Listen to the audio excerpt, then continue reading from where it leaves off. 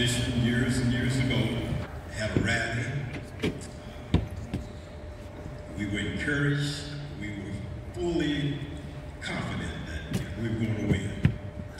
And that's what I want you to feel today. Be confident that you're going to win the state championship. Amen. Amen.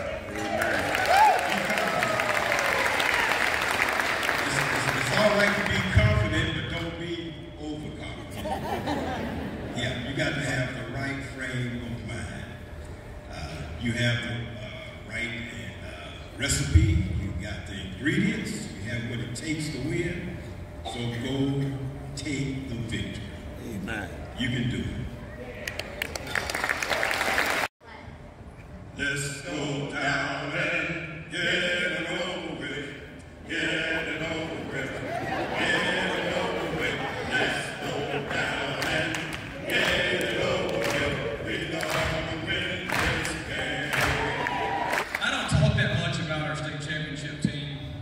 I would like to say a few words today.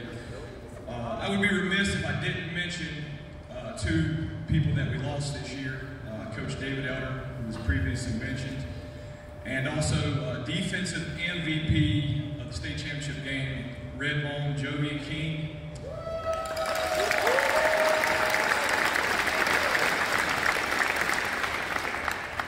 Coach Elder was a great mentor and leader to young men and women in this school and community for many years. And he is greatly missed, but we know his spirit is with us today. As mentioned previously, I was the quarterback on this high school team in 96, and most of these guys that I'm in the halls with every day had no idea. I know, I know some of your parents find that hard to. They had no idea. Uh, so I actually talked about it a little bit this week uh, during the school year, and I actually talked about it with the basketball team. Most of my basketball team had no idea he played football. So that's kind of where we are today. Just a couple things about this team. We scored 767 points and gave up 93.